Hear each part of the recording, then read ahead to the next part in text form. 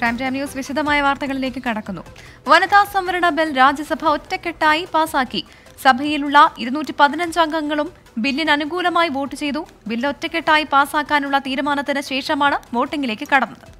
നിർണായകമായ നിയമനിർമ്മാണമെന്ന് പ്രധാനമന്ത്രി രാജ്യസഭയിൽ ആവർത്തിച്ചു വിശ്വാസ് രാഷ്ട്ര നിർമ്മാണം योगदान देने में नेतृत्व के साथ आगे आएगी ये अपने आप में भी हमारे उज्जवल भविष्य की गारंटी बनने वाली है आदरणीय सभापति जी मैं इस सदन का समय ज्यादा लेता नहीं हूं मैं सिर्फ जो भावना आपने व्यक्त की है उसके लिए आभार व्यक्त करता हूं और जब मतदान होगा तो मेरा आप सबसे आग्रह है कि ये उच्च सदन है चर्चा भी उत्तम करने का प्रयास हुआ है अब मतदान भी सर्वसम्मति से करके हम देश को एक नया विश्वास दें വിവരങ്ങളുമായി ആർ രാധാകൃഷ്ണൻ ചേരുന്നുണ്ട് ഡൽഹിയിൽ നിന്നും രാധാകൃഷ്ണൻ അങ്ങനെ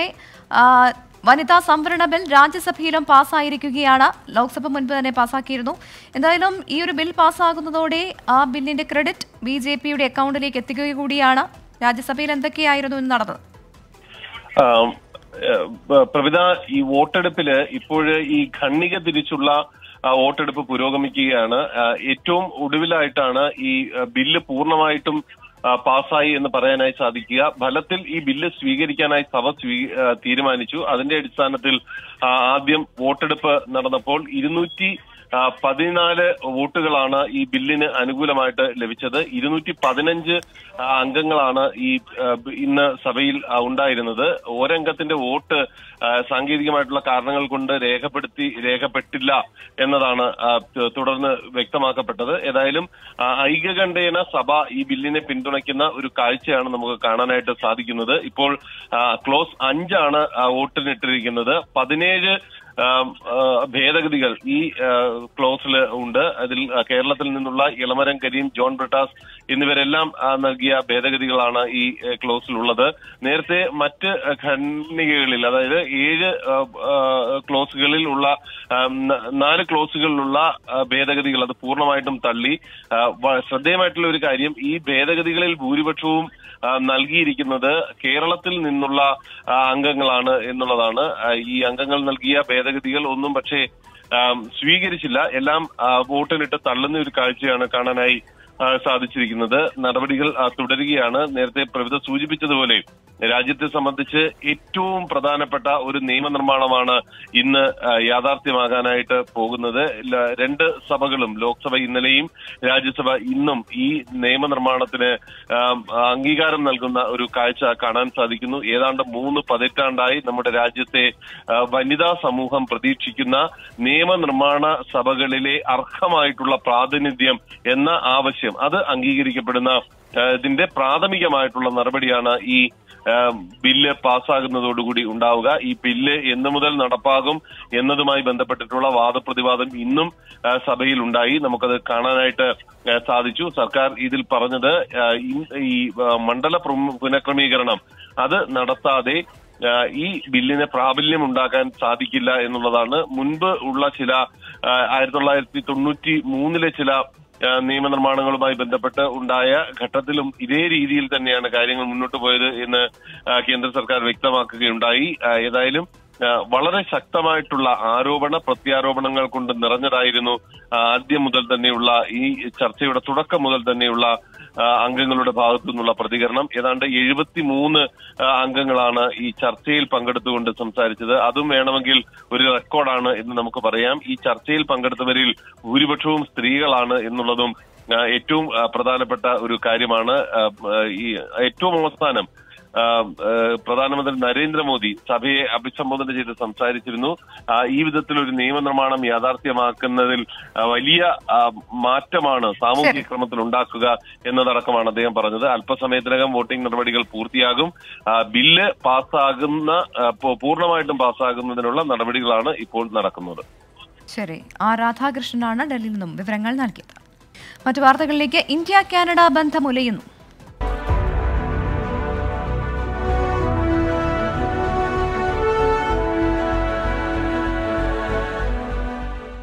ഇന്ത്യക്കെതിരായ ആരോപണങ്ങൾ ആവർത്തിച്ച് കനേഡിയൻ പ്രധാനമന്ത്രി ജസ്റ്റിൻ ട്രൂഡോ കനേഡിയൻ മണ്ണിൽ ഒരു കനേഡിയൻ കൊല്ലപ്പെട്ടതിൽ ഇന്ത്യ ഗവൺമെന്റ് ഏജന്റുമാർക്ക് പങ്കുണ്ടെന്ന് വിശ്വസിക്കാൻ കൃത്യമായ കാരണങ്ങൾ ഉണ്ടെന്ന് ജസ്റ്റിൻ ട്രൂഡോ ആവർത്തിച്ചു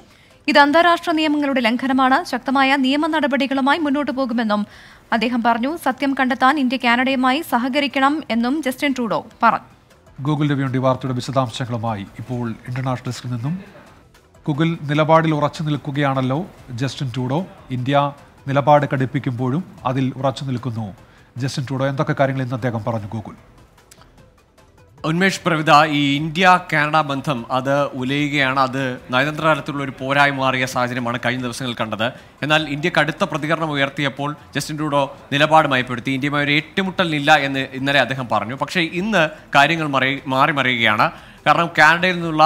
കനേഡിയൻ പൗരന്മാർക്കുള്ള ഇന്ത്യയിലേക്കുള്ള വിസ താൽക്കാലിക അനുവദിക്കുന്നത് താൽക്കാലികമായി നിർത്തിവെക്കുന്ന കടുത്ത നടപടിയിലേക്ക് ഇന്ന് ഇന്ത്യ പോയി ഇതിന് മറുപടിയായാണ് ഇപ്പോൾ ജസ്റ്റിൻ ട്രൂഡോയുടെ പ്രതികരണം അതിനുശേഷം വരുന്ന പ്രതികരണത്തിൽ ഈ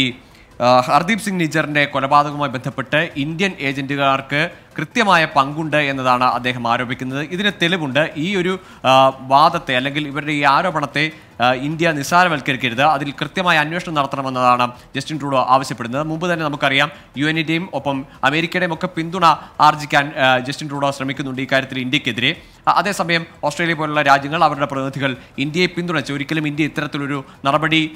ചെയ്യില്ല അല്ലെങ്കിൽ ഇത്തരമൊരു നടപടിയിലേക്ക് ഇന്ത്യ നീങ്ങില്ല എന്ന തരത്തിലുള്ള പ്രതികരണം ഓസ്ട്രേലിയയുടെ ഭാഗത്തുനിന്ന് ഉണ്ടാകുകയും ചെയ്തു അത്തരത്തിൽ രണ്ട് രണ്ട് ചേരികളെന്നോ അല്ലെങ്കിൽ രണ്ട് ഇടങ്ങളിലായി രണ്ട് എതിർ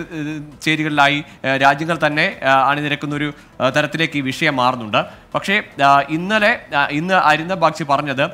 ഇന്ത്യ ഇത്തരത്തിലുള്ള ഒരു നടപടിയുടെ ഭാഗമാകില്ല അല്ലെങ്കിൽ ഈ ആരോപണം ജസ്റ്റിൻ ട്രൂഡോയുടെ ആരോപണം യാതൊരുവിധ അടിസ്ഥാനവുമില്ലാത്തതാണ് ഇന്ത്യയുടെ പിടികുട്ടാപ്പുള്ളിയായി ഇന്ത്യ പ്രഖ്യാപിച്ച സുഖ്ദൂൾ സിംഗ് ഇന്ന് കൊല്ലപ്പെടുന്ന ഒരു സാഹചര്യം ഉണ്ടായിരുന്നു പക്ഷേ ആ കൊലപാതകത്തിൻ്റെ ഉത്തരവാദിത്തം ലോറൻസ് ബിഷ് ലോറൻസ് ബിഷ്ണോയി സംഘം ഏറ്റെടുക്കുകയും ചെയ്തു പക്ഷേ ഇപ്പോൾ വരുന്ന പ്രതികരണം ജസ്റ്റിൻ ട്രൂഡോയുടെ പ്രതികരണം ഈ വിഷയം കൂടുതൽ രൂക്ഷമാക്കും സ്വാഭാവികമായും ഇന്ത്യയുടെ ഭാഗത്തു നിന്ന് ഇനി എന്താണ് പ്രതികരണം അല്ലെങ്കിൽ നയതന്ത്രപരമായ എന്തെങ്കിലും നടപടികളിലേക്കാണോ ഒരുപക്ഷെ ഈ വിസ അനുവദിക്കുന്ന നിർത്തിവെച്ച പോലെയുള്ള നടപടികൾ അതുപോലെ തന്നെ കാനഡയിലുള്ള ഇന്ത്യൻ പൗരന്മാർക്ക് ഇന്ത്യ ചില മുന്നറിയിപ്പുകൾ നൽകിയിരുന്നു അവിടെ ഉണ്ടാകാൻ പോകുന്ന ഇരുപത്തിയഞ്ചാം തീയതി നടക്കാൻ പോകുന്ന ഈ ഖരിസ്ഥാൻവാദികളുടെ പ്രകടനം അതൊക്കെ ചില തരത്തിൽ ഒരു സുരക്ഷാ പ്രശ്നമായി മാറിയേക്കാമെന്ന ആശങ്ക ഇന്ത്യക്കുണ്ട് ഏതായാലും കാനഡയിലുള്ള ഇന്ത്യക്കാർക്ക് ആശങ്കയുണ്ട് അതേപോലെ തന്നെ ഇന്ത്യ കാനഡ സംഘർഷം അല്ലെങ്കിൽ അത് ഒരു നയതന്ത്ര പ്രശ്നം അത് വഷളാക്കുന്ന തരത്തിലാണ് ഇപ്പോൾ ജസ്റ്റിൻ ട്രൂഡോയുടെ പ്രതികരണം വരുന്നത് ഗൂഗിൾ രവിയാണ് ഇന്റർനാഷണൽ നിന്നും വിവരങ്ങൾ നൽകിയത് ഖലിസ്ഥാൻ വിഷയത്തിൽ ഇന്ത്യ കാനഡ നയതന്ത്ര പോരാട്ടം അനുദിനം രൂക്ഷമാവുകയാണ് കാനഡയിലുള്ള ഇന്ത്യൻ പൗരന്മാരെയും വിദ്യാർത്ഥികളെയുമാണ് ആശങ്കയിലാക്കിയിരിക്കുന്നത് വിസ സേവനങ്ങൾ ഇന്ത്യ താൽക്കാലികമായി നിർത്തിവെച്ചതും കാനഡയോട് നയതന്ത്ര ഉദ്യോഗസ്ഥരെ കുറയ്ക്കാൻ ആവശ്യപ്പെട്ടതും ഇന്ത്യക്കാരിയാകും ബാധിക്കുക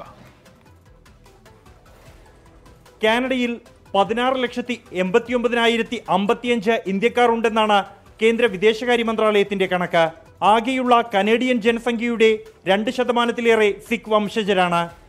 ഹർദീപ് സിംഗ് നിജ്ജറിന്റെ കൊലപാതകവുമായി ബന്ധപ്പെട്ട ഇരു രാജ്യങ്ങൾ തമ്മിലും നയതന്ത്ര ബന്ധം വഷളായത് കാനഡയേക്കാൾ ഏറെ ബാധിക്കുന്നത് ഇന്ത്യക്കാരെയാകും കനേഡിയൻ പൗരന്മാർക്കുള്ള വിസ സേവനങ്ങൾ ഇന്ത്യ താൽക്കാലികമായി നിർത്തിവച്ചിരിക്കുകയാണ് സമാനമായ നടപടി കാനഡയുടെ ഭാഗത്തു നിന്നുമുണ്ടായാൽ കാനഡയിലേക്ക് പോകാനായി വിസ കാത്തു നിൽക്കുന്ന പതിനായിരക്കണക്കിന് ഇന്ത്യക്കാർ പ്രതിസന്ധിയിലാകും ഇത്തരത്തിൽ ഉണ്ടായില്ലെങ്കിൽ പോലും നയതന്ത്ര ഉദ്യോഗസ്ഥരുടെ എണ്ണം കുറയ്ക്കണമെന്ന് ഇന്ത്യ കാനഡയോട് ആവശ്യപ്പെട്ടിട്ടുണ്ട് ഇത് നടപ്പാക്കിയാൽ നിലവിലുള്ള ഇന്ത്യക്കാരുടെ വിസ അപേക്ഷകളിൽ തീരുമാനമെടുക്കുന്നത് വൈകാൻ വഴിവെക്കും കാനഡയിൽ പഠിക്കാൻ ആഗ്രഹിക്കുന്നവർ കാനഡയുമായി ബന്ധപ്പെട്ട പ്രവർത്തിക്കുന്ന വിദ്യാഭ്യാസ ഉപദേഷ്ടാക്കൾ കനേഡിയൻ പി ആർ അപേക്ഷകർ എന്നിവരുടെ ഭാവി ഇതോടെ പ്രതിസന്ധിയിലാകും പ്രശ്നങ്ങൾ രമ്യമായി പരിഹരിക്കാനുള്ള ആലോചനയിലാണ് ഇരു രാജ്യങ്ങളും ട്വന്റി ഡൽഹി മുഖ്യമന്ത്രിയെ വീണ്ടും വെല്ലുവിളിച്ച് മാത്യു കുടൽനാട്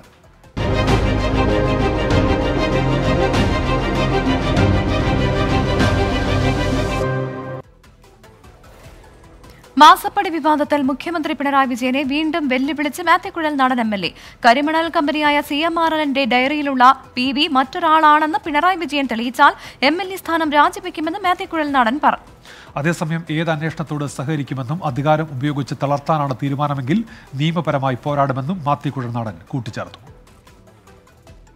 ചിന്നക്കനാലിലെ ഭൂമിയിടപാടിൽ വിജിലൻസ് അന്വേഷണം പ്രഖ്യാപിച്ചതിന് പിന്നാലെയാണ് മാത്യു കുഴൽനാടൻ എം എൽ എയുടെ പ്രതികരണം ഏത് അന്വേഷണത്തോടും സഹകരിക്കും രാഷ്ട്രീയ പ്രവർത്തനം സുതാര്യമാകണമെന്നാണ് കരുതുന്നത്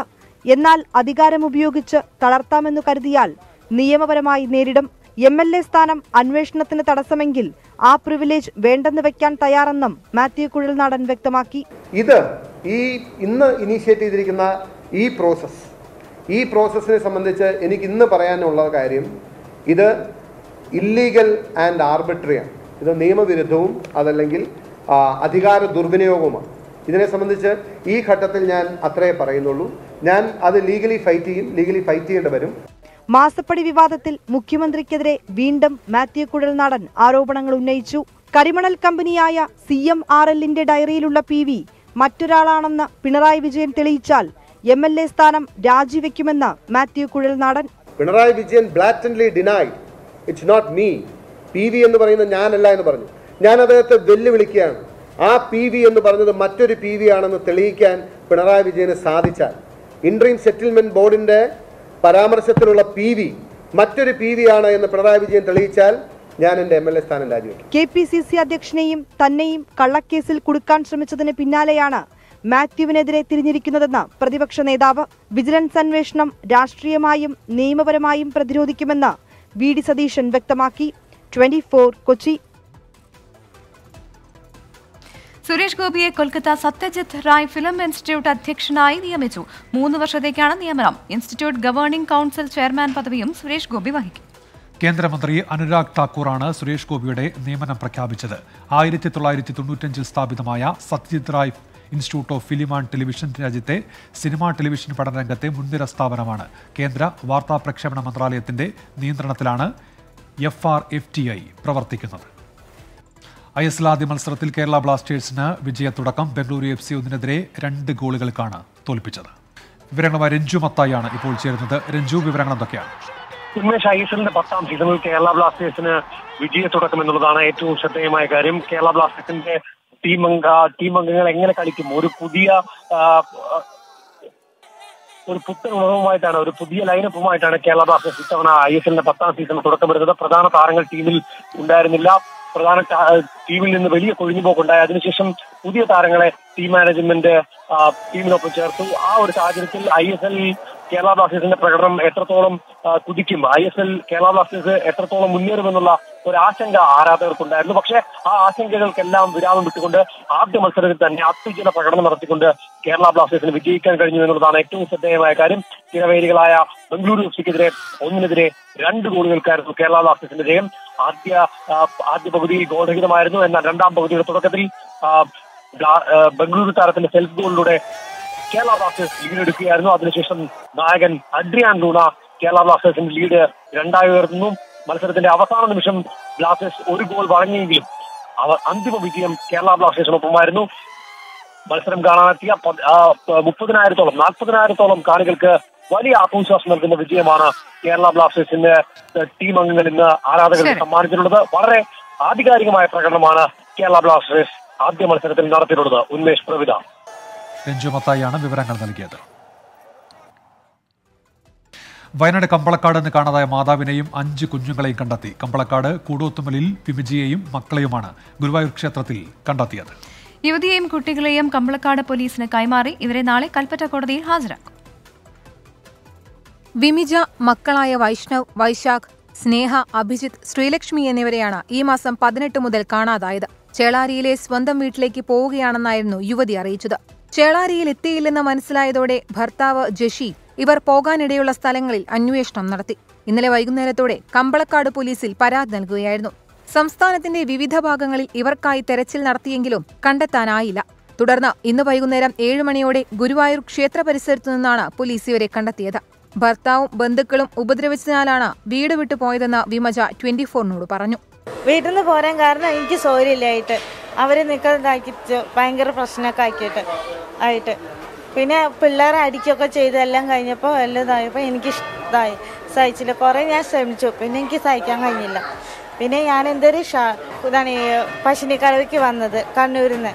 വീട് വിട്ടിറങ്ങിയ വിമജ ആദ്യം എത്തിയത് പറശ്ശിനിക്കടവായിരുന്നു പിന്നീട് രാമനാട്ടുകരയിലെ ബന്ധുവിന്റെ വീട്ടിലെത്തി ബന്ധുവിന്റെ കയ്യിൽ നിന്ന് പണം വാങ്ങി വീണ്ടും കടവെത്തി നാട്ടുകാരിൽ നിന്ന് പണം വാങ്ങി ഷൊർണൂരിലെ ബന്ധുവിന്റെ വീട്ടിലേക്ക് അവിടെ നിന്ന് പണം വാങ്ങി തൃശൂരിലെത്തിയ വിമജയും കുട്ടികളും ബസ് മാർഗമാണ് ഗുരുവായൂരിലെത്തിയത് നേരത്തെ പോലീസ് കൈമാറിയ വിവരത്തിന്റെ അടിസ്ഥാനത്തിൽ ഗുരുവായൂർ പോലീസ് ഇവരെ തിരിച്ചറിയുകയായിരുന്നു പിന്നീട് ക്ഷേത്രത്തിലെ കൺട്രോൾ റൂമിലെത്തിച്ച് വിവരങ്ങൾ തിരക്കി ഭക്ഷണം വാങ്ങി നൽകി കമ്പളക്കാട് പോലീസിന് കൈമാറിയ കുട്ടികളെയും അമ്മയെയും നാളെ കൽപ്പറ്റ കോടതിയിൽ ഹാജരാക്കും ട്വന്റി തൃശൂർ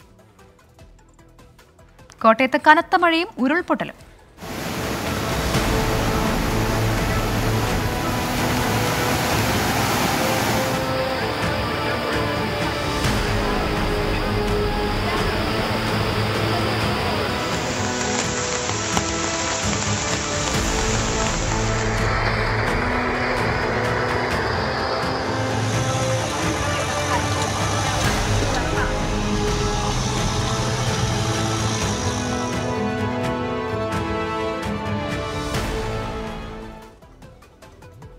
കനത്ത മഴയിൽ കോട്ടയം തീക്കോയി പഞ്ചായത്തിൽ രണ്ടിടത്ത് ഉരുൾപൊട്ടി ഇരാറ്റുപേട്ട വാഗമൺ റോഡിൽ മണിക്കൂറുകളോളം ഗതാഗതം തടസ്സപ്പെട്ടു അപകട സാഹചര്യം കണക്കിലെടുത്ത് ജില്ലയിലെ മലയോര മേഖലയിലേക്കുള്ള രാത്രിയാത്രയ്ക്ക് ജില്ലാ കളക്ടർ പൂർണ്ണ നിരോധനം ഏർപ്പെടുത്തി കിഴക്കൻ മലയോരത്ത് ഉച്ചയ്ക്ക് രണ്ട് മണിയോടെ ആരംഭിച്ച മഴ വൈകുന്നേരത്തോടെ ശക്തി പ്രാപിച്ചു മൂന്ന് മണിക്കൂറോളം നിർത്താതെ പെയ്ത മഴയിൽ തീക്കോയിൽ രണ്ടിടത്ത് ഉരുൾപൊട്ടി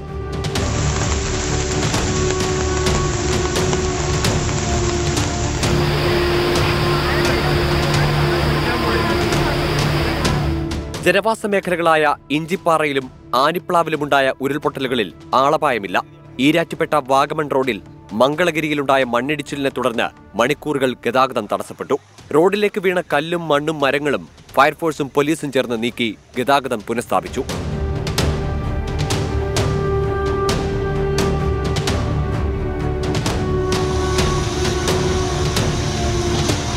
അപകട സാധ്യത നിലനിൽക്കുന്ന സാഹചര്യത്തിൽ മലയോര മേഖലയിലേക്കുള്ള രാത്രിയാത്രയ്ക്ക് കളക്ടർ നിരോധനം ഏർപ്പെടുത്തി ഉരുൾപൊട്ടൽ ഉണ്ടായിട്ടുണ്ട് നമ്മൾ പോലീസും ഫയർ ആൻഡ് റെസ്ക്യൂ സർവീസും അവിടെ ഉണ്ട് ആൾക്കാർക്ക് ഒന്നും സംഭവിച്ചിട്ടില്ല പക്ഷേ ട്രാഫിക് ബ്ലോക്ക് ആയിട്ടുണ്ട് അപ്പോൾ നമ്മൾ രാത്രിയോട് ബ്ലോക്ക് ക്ലിയർ ചെയ്യാനാണ് ഉദ്ദേശിക്കുന്നത് ഉരുൾപൊട്ടലിന്റെയും മണ്ണിടിച്ചിലിന്റെയും സാഹചര്യത്തിൽ തീക്കോയി പഞ്ചായത്തിൽ ഒരു ദുരിതാശ്വാസ ക്യാമ്പ് തുറന്നിട്ടുണ്ട് മീനച്ചിലാറിന്റെ കൈവഴികൾ കരതൊട്ടൊഴുകിയെങ്കിലും മഴ കുറഞ്ഞതോടെ ജലനിരപ്പ് താഴ്ന്നു തുടങ്ങി ജില്ലയിൽ പരക്കെ നേരിയ മഴ തുടരുകയാണ് കോട്ടയം ഫ്രണ്ട് ന്യൂസിലേക്ക് തിരികെ ഓണം ബമ്പർ ഭാഗ്യക്കുറി ഒന്നാം സമ്മാനം നേടിയ ഭാഗ്യശാലികളെ തിരിച്ചറിഞ്ഞു തമിഴ്നാട് അന്നൂർ സ്വദേശി നടരാജനും മൂന്ന് സുഹൃത്തുക്കളും ചേർന്നെടുത്ത ടിക്കറ്റിനാണ് സമ്മാനം സമ്മാനത്തിന് അർഹമായ ടിക്കറ്റ് ലോട്ടറി വകുപ്പിന് കൈമാറി അങ്ങനെ ഇരുപത്തിനാല് മണിക്കൂറോളം നീണ്ട അഭ്യൂഹങ്ങൾക്ക് വിരാമം അടിച്ചു മോനെ എന്ന് പറയാനാവുക തമിഴ്നാട് തിരുപ്പൂർ സ്വദേശികളായ നടരാജൻ തങ്കരാജ തങ്കസ്വാമി സ്വാമിനാഥൻ എന്നിവർക്ക് ആശുപത്രിയിൽ കഴിയുകയായിരുന്ന സുഹൃത്തിനെ കണ്ട് മടങ്ങി വരുന്നതിനിടയിലാണ് അന്നൂർ സ്വദേശി നടരാജൻ വാളയാറിൽ നിന്ന് ടിക്കറ്റുകൾ എടുത്തത് അപ്രതീക്ഷിത ഭാഗ്യം തുണച്ചതായി ഇന്നലെ ഉച്ചയോടെ തന്നെ അറിഞ്ഞെങ്കിലും തിരുവനന്തപുരത്തെത്തി ടിക്കറ്റ് കൈമാറിയ ശേഷമാണ് വിവരം പുറത്തുവിട്ടത് നികുതി കഴിഞ്ഞ് കയ്യിൽ കിട്ടുന്ന തുക തുല്യമായി വീതിച്ചെടുക്കാനാണ് ഈ സുഹൃത്തുക്കളുടെ തീരുമാനം മറ്റു നടപടികൾ കൂടി പൂർത്തിയാക്കി ജോയിന്റ് അക്കൗണ്ടിലേക്ക് ലോട്ടറി വകുപ്പ് തുക കൈമാറും വാളയാറിലെ ബാവ ഏജൻസിയിൽ നിന്നാണ് നടരാജൻ ടിക്കറ്റ് എടുത്തത് ഇത്തവണ ഏറ്റവും കൂടുതൽ ടിക്കറ്റുകൾ വിറ്റുപോയതും പാലക്കാട് ജില്ലയിൽ നിന്നായിരുന്നു ട്വന്റി ഫോർ പാലക്കാട് വയോധികൻ പുഴുവലിച്ച നിലയിൽ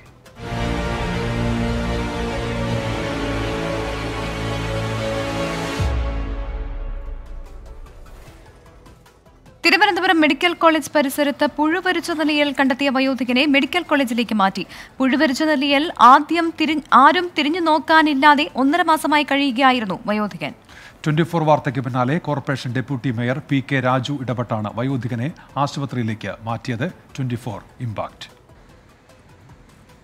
മെഡിക്കൽ കോളേജ് ആശുപത്രിയിലെ പഴയ കാഷ്വാലിറ്റിക്ക് മുന്നിൽ കഴിഞ്ഞ ഒന്നര മാസമായി വയോധികൻ കിടപ്പുണ്ടായിരുന്നു എന്നാണ് നാട്ടുകാർ പറയുന്നത് കാലിലെ മുറിവിൽ പുഴുവായിരിക്കുന്നത് സൂചിപ്പിച്ച് പലതവണ മെഡിക്കൽ കോളേജ് അധികൃതരെ ബന്ധപ്പെട്ടെങ്കിലും നടപടിയെടുത്തില്ല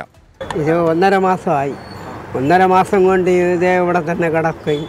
അത് തുറക്കവും പെടുക്കവും ഇവിടെ എല്ലാ ആഹാരം ആരെങ്കിലും വന്ന് പത്ത് അഞ്ചോ ഇരുപത് കൊടുക്കും വയോധികന്റെ ദുരവസ്ഥ ട്വന്റി ഫോർ വാർത്തയാക്കിയതോടെ തിരുവനന്തപുരം കോർപ്പറേഷൻ പ്രശ്നത്തിൽ ഇടപെട്ടു സ്ഥലത്തെത്തിയ deputy mayor P K Raju എല്ലാവിധ ചികിത്സയും ഒരുക്കുമെന്ന് വ്യക്തമാക്കി വളരെ കഷ്ടമാണ് ഇത് കാണാൻ നമുക്ക് ഒരു മനുഷ്യരെ കൊണ്ട് ഒരിക്കലും കണ്ടു നിൽക്കാൻ കാഴ്ചയില്ലാത്തൊരു വിഷയമാണ് ഞാൻ സൂപ്രണ്ടെ വിളിച്ചു സെക്യൂരിറ്റി ഓഫീസറോട് വിടാമെന്ന് പറഞ്ഞു അതിനുശേഷം ഇദ്ദേഹത്തിനെ വീണ്ടും നമുക്ക് ആശുപത്രിയിലോട്ട് അഡ്മിറ്റ് ചെയ്യാനുള്ള നടപടിയെടുക്കും അതേസമയം മെഡിക്കൽ കോളേജ് അധികൃതർ സ്ഥലത്തെത്തി വയോധികനെ കാണാൻ തയ്യാറായില്ല ഡെപ്യൂട്ടി മേയർ നിർദ്ദേശം നൽകി അരമണിക്കൂർ കഴിഞ്ഞാണ് ഒരു അറ്റൻഡർ എത്തി വയോധികനെ ആശുപത്രിയിലേക്ക് മാറ്റിയത് twenty four Thiruvananthapuram prime time ന്യൂസിലേക്ക് വീണ്ടും വയനാട് പനവല്ലിയിൽ കടുവ വീട്ടിൽ കയറി പുഴക്കര കോളനിയിലെ കയമയുടെ വീടിനുള്ളിലേക്കാണ് കടുവ എത്തിയത് പട്ടിയെ ഓടിച്ചാണ് കടുവ എത്തിയത് കയമയും ഭാര്യയും പുറത്തിരിക്കുമ്പോഴാണ് സംഭവം വനവകുപ്പ് ഉദ്യോഗസ്ഥരെത്തി ഇപ്പോൾ പരിശോധന നടത്തുകയാണ് സുർജിത്ത് അയ്യപ്പത്ത് ചേരുന്നുണ്ട് സുർജിത്ത് വിവരങ്ങൾ എന്തൊക്കെയാണ് ഉന്മേഷ് പ്രവിത ഒമ്പത് മണിയോട് കൂടിയാണ് ഇത്തരത്തിലൊരു സംഭവം ഉണ്ടായത് പുഴക്കര കോളനിയിൽ കയമ എന്നയാളുടെ വീടിനകത്തേക്കാണ് കടുവ എത്തിയത് കടുവ ഒരു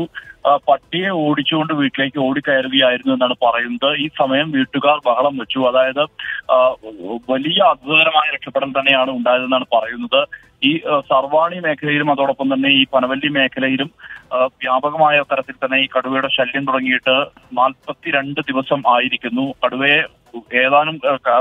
ദിവസങ്ങളായി കടുവയുടെ സാന്നിധ്യം ഈ മേഖലയിൽ ഇപ്പോഴും ഉണ്ട് ഇന്നലെ പോലും പനവല്ലി സർവാണിയിൽ കടുവ ഇറങ്ങിയിരുന്നു ഇതിനിടയിലാണ് ഈ പുഴക്കര കോളനിയിൽ ഇത്തരം സംഭവം ഉണ്ടാവുന്നത് രണ്ടിടത്തായി വനംവകുപ്പ് കൂട് സ്ഥാപിച്ച് കാലമായി കാത്തിരിക്കുന്നു പക്ഷേ കടുവ കുടുങ്ങിയില്ല ഈ ജനകീയ പങ്കാളിത്തത്തോടുകൂടി കടുവകളെ തുരത്താനുള്ള നീക്കം നടന്നിരുന്നു വനംവകുപ്പ് അനുമാനിക്കുന്നത് ഒരു ഒന്നിൽ കൂടുതൽ കടുവകൾ ഉണ്ട് എന്നുള്ള തരത്തിലുള്ള സ്ഥിരീകരണം വനംവകുപ്പിന്റെ ഭാഗത്തു ഉണ്ടായിട്ടുണ്ട് കാരണം ഒരേ സമയം കടുവയെ വിവിധയിടങ്ങളിൽ കണ്ട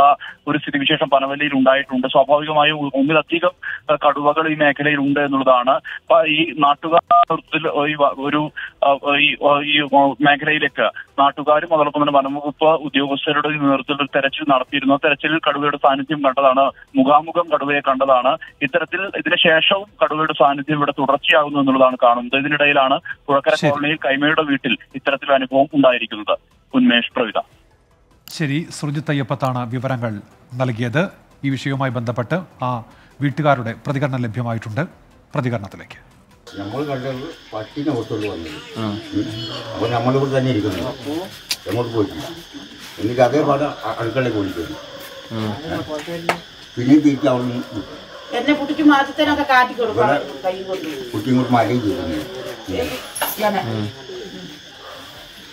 ഇത് പൊട്ടിയത് വള പൊട്ടിപ്പോയത് ആ അന്നേരം എന്റെ മേത്ത് ചാടി ഒരു കൈ വന്നു രണ്ട് കൈയും ഓലെ അപ്പൊ ഞാനിവിടെ ഇങ്ങനെ ഇങ്ങോട്ടാക്കി ഫ്രണ്ട് ന്യൂസിലേക്ക് തിരികെ മൊയ്തീനെ പ്രതിയാക്കാൻ ഇ ഡി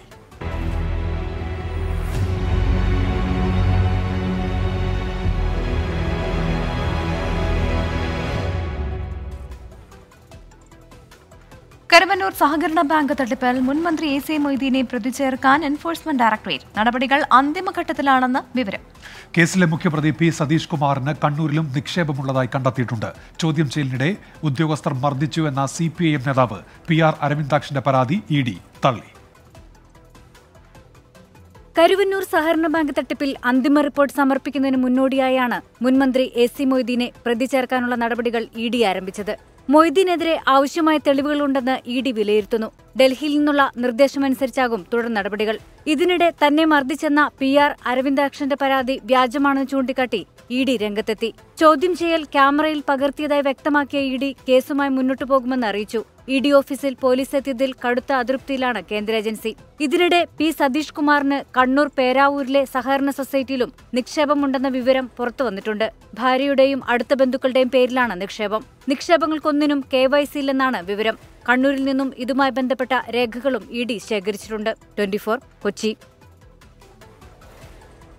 അട്ടപ്പാടി മധു കേസിലെ സ്പെഷ്യൽ പബ്ലിക് പ്രോസിക്യൂട്ടറായി കെ പി സതീശനെ സർക്കാർ നിയമിച്ചതിനെതിരെ മധുവിന്റെ അമ്മ ഹൈക്കോടതി ചീഫ് ജസ്റ്റിസിന് സങ്കട ഹർജി നൽകും കെ പി സതീശനെ പ്രോസിക്യൂട്ടറായി നിയമിക്കുന്നത് കേസ് അട്ടിമറിക്കാനുള്ള സർക്കാർ ശ്രമത്തിന്റെ ഭാഗമാണ് എന്നാണ് കുടുംബത്തിന്റെ ആരോപണം തങ്ങളോട് ആലോചിക്കാതെ നടത്തിയ നിയമനം തടയണം എന്നാവശ്യപ്പെട്ടാണ് സങ്കട ഹർജി നൽകുന്നത് പ്രോസിക്യൂട്ടർ നിയമനത്തിൽ സർക്കാർ ഏകപക്ഷീയമായി തീരുമാനമെടുത്തെന്ന് സമരസമിതി ആരോപിച്ചു സർക്കാർ തീരുമാനത്തിനെതിരെ ശക്തമായ സമരപരിപാടികളുമായി മുന്നോട്ടു പോകുമെന്ന് നേതാക്കൾ അറിയിച്ചു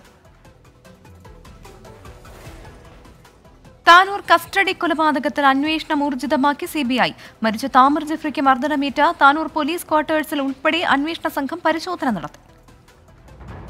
താമർ ജിഫ്രിയെയും കൂടെയുള്ളവരെയും ഡാൻസ് ഓഫ് സംഘം കസ്റ്റഡിയിലെടുത്ത ചേളാറിയിലെ ക്വാർട്ടേഴ്സിലാണ് സി ബി ഐ സംഘം ആദ്യം പരിശോധന നടത്തിയത് ഉച്ചയോടെ ഡാൻസ് ഓഫ് ടീം താമസിച്ചിരുന്ന താനൂരിലെ പോലീസ് ക്വാർട്ടേഴ്സിലുമെത്തി C B I DYSP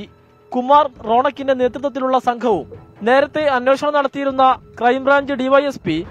Reji എമ്മും പോലീസ് ക്വാർട്ടേഴ്സിലെത്തിയിരുന്നു പോലീസ് ക്വാർട്ടേഴ്സിൽ വെച്ചാണ് താമർ ജിഫ്രിയെ ഡാൻസഫ് ടീം ക്രൂരമായി മർദ്ദിച്ചത് പരിശോധനയ്ക്ക് ശേഷം ഈ മുറി സി സീൽ ചെയ്തു